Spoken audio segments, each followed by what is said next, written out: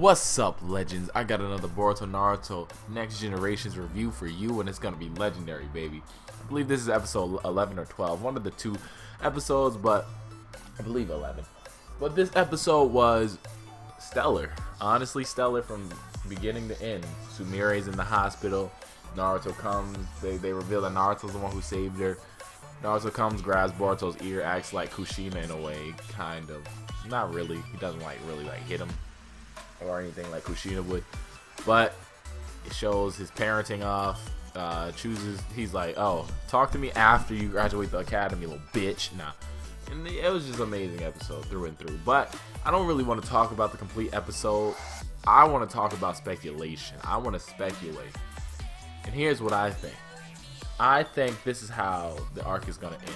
Okay, I think the main bad guy, I think the person controlling what we now know is the Nue, which is a mythical creature which has the head of a monkey, the body of a dog, tail of a snake, uh, legs of a goat. I don't know. I don't know. I don't know the, the whole biology of the Nue, but um, this person who's controlling this Nue is Sumire. Think this. Okay, so first off, we see a masked person. First off, we don't know if it's a man or a woman. We see a masked person in a cloak, a part of the Foundation, most likely. We see them uh, take out the snake that bit uh, in episode 1 to control him. We see them use that on the um, post office head chief dude. So we see that, and we also see that that person is the same height as Boruto and his classmates. Okay, who else? Who wasn't there? Who wasn't around fighting this person when they were around? Okay, so here's the, the, three girls in the hospital, the two random girls in Sumire, aka the class rep.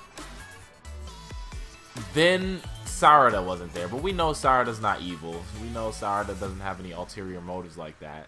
We think, at least uh, Sasuke's daughter. Why would she just be placed as a villain like right away? It wouldn't make. Why would she be placed as a villain at all? It would kind of get old having Uchihas just want to fuck shit up, you know. And we know Sarada's character. That's not her. So, so let's rule out Sarada. She she might not have been there, but I highly doubt she was under that mask unless she was being controlled. So the two girls, we don't even really know their names, but Sumire is important.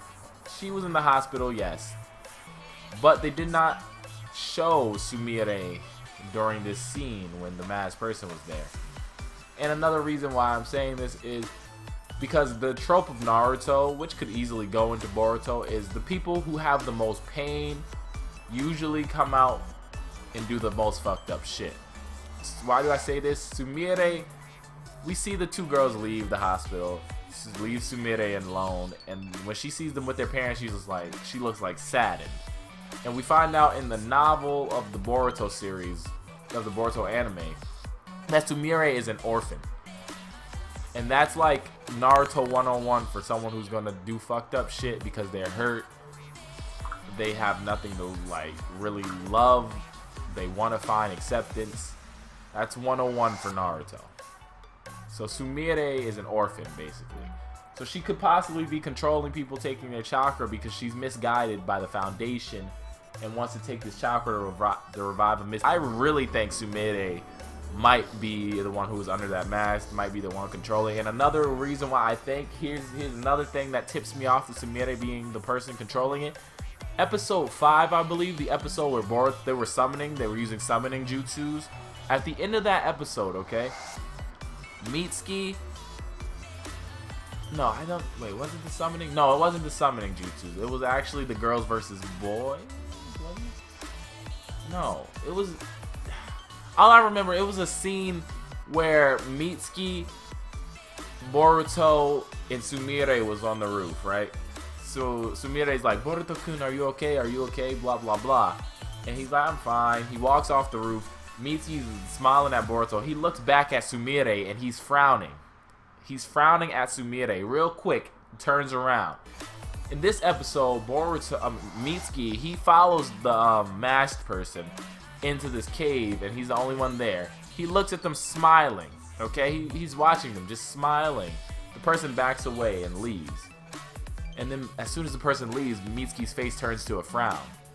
So that's another reason why I think it could be Sumire because he frowned at Sumire like that, and he's also frowning at this masked person. And the frown to Sumire might have been a subtle nod, a foreshadowing of this scene. So I really think Sumire is the person behind all of this because she's a random, she's a random character. She's gotten a lot of screen time for someone who's not typically like a major key player. So I, I'm thinking, hey, maybe Sumire is the bad guy behind all this. But then again, when we think about it, Sumire was attacked. She was stalked by this guy who got who had a crush on her and got hit by the Nue, attacked by the Nue. But that could have been a part of her plan.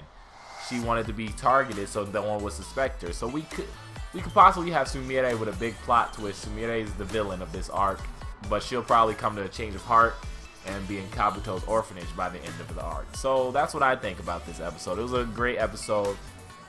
I'm sorry I didn't really talk about the episode. I'm sorry this video is out so late. I just really didn't feel like I really didn't feel like doing this today. I don't know why. I was just kind of tired today. I really didn't feel like a, in a review mood today.